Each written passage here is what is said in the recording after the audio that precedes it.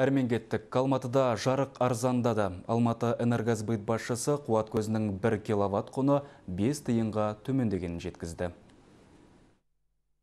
Алматы энергосбыт компаниясы биыл наурыздан бастап электр энергиясы үшін шот түбіртектеріне өзгерістер енгізді. Олар тұтынушы мен сарапшының ұсынысын ескеріп, осындай қадамға барған. Енді тұрғындар есептеу құралының көрсеткішіне байланысты төлеу сомасын өз бетінше санайды, ал пайдаланған электр қуатының көлемін Алатау жарық компаниясы анықтайды. Бұдан былай тұтынушы жазып алған көрсеткіштің деректерге сәйкес болуын қадағалауға құқылы. Енді наурызда жарық көзі үшін келген шот түбіртектеріне өзгерістер енгізіледі. Тұрғындар ақпан айы үшінде дәл осы өзгертілген жаңа тариф негізінде төлейді.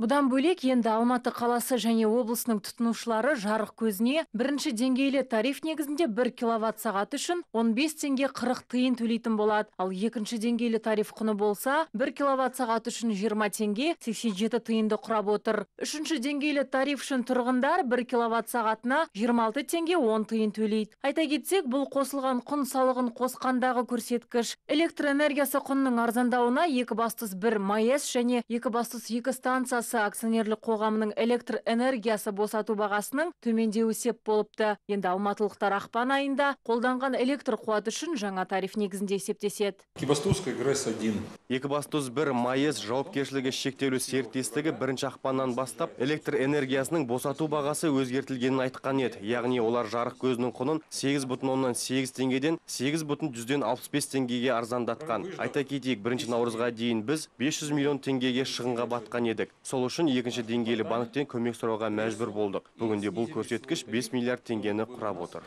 Алайда электр қуатымен қамтамасыз ететін компания басшысының айтуынша, олар шығынға батып отыр. Өйткені қала тұрғындарын жарық көзімен қамтамасыз ету үшін компания айына 9 миллиард теңгеге электр қуатын сатып алады екен. Сондай-ақ олар электр көзіне алдын ала төлем арқылы ғана қол жеткізеді. Енді Алматы энергосбыт жауапкершілігі шектеулі серіктестігінің директоры бұл мәселені шешу үшін үкіметке сауал жолдамақ. Азиза Мадияр, Ескендір Тоғысбаев, Мақсат Күнібеков, Алматы телеарнасы.